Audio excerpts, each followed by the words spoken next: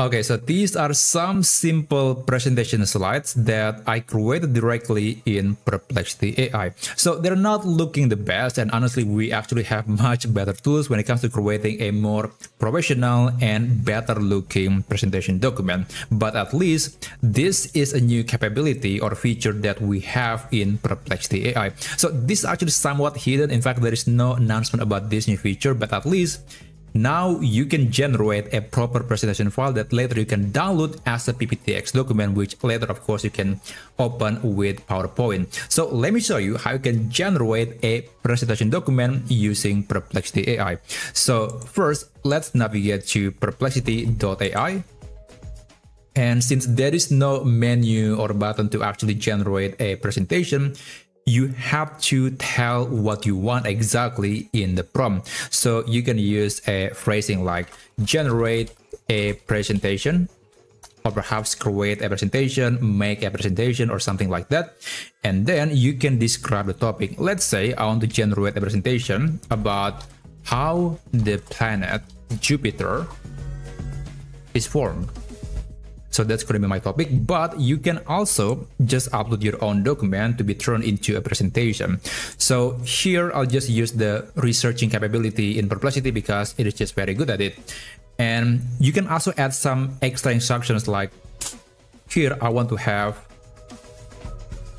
black and red color palette.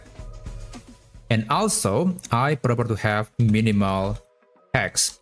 So that's going to be my instruction. Of course, you can add something like please add icons or emojis or something like that. But so far, from some documents that were created by Perplexity, I can tell that right now this feature is still very very early, there is not much that we can do and so far the layout is very very simple. It is better than just a plain text with white background but definitely something can be improved here. So anyway, I'll just continue. And for the model, I don't think the model really matters because no matter what model that I choose, the design is still look the same. So I believe they're actually using their own internal model when it comes to creating a presentation.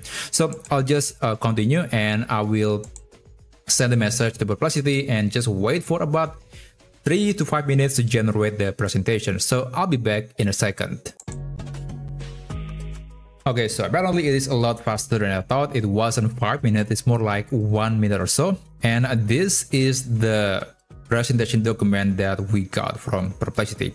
So as I said earlier, it is way, way simpler. It is actually even uh, less complicated or minimalistic compared to other tools. But again, at least it is a nice feature that we have in the platform. So there are some options that you can that you can uh, choose here you can see the code so essentially this is really just an html code it is actually not anything new a lot of ai tools use the same approach when it comes to creating a presentation document and you can click this button to enlarge it so you can see it in a, a bigger screen but remember this is not for presenting in front of a big, big screen this is more like almost like a document where you can scroll down to see the next slide. So it's not a proper presentation slideshow in my opinion. And here you can download the document as PPTX, HTML, or you can save it to Google Drive. Now, I have one thing to say. You can download the document to PPTX, but from my testing, I noticed that if there is a picture in the presentation, there is a good chance that the picture might not appear in the PPTX document. So that's something that you need to know, especially when your slides do contain images that were generated or at least uh, taken from some websites on the internet by Perplexity. So right now, again, it is not the best looking presentation document, but well, it's always welcoming one that we have an extra feature in Perplexity. So that's basically how you can generate a simple presentation using Perplexity AI. Thank you so much for watching and I'll see you on my next video.